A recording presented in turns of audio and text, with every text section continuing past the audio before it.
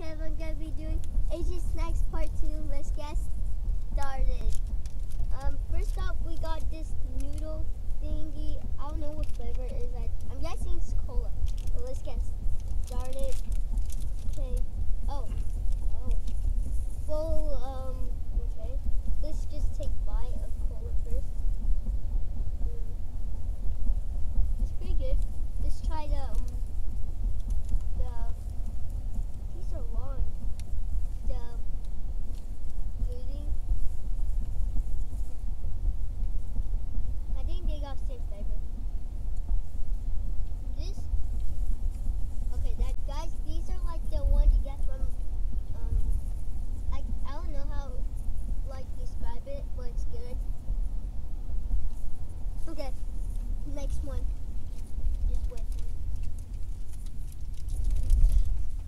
Next is the um, fish.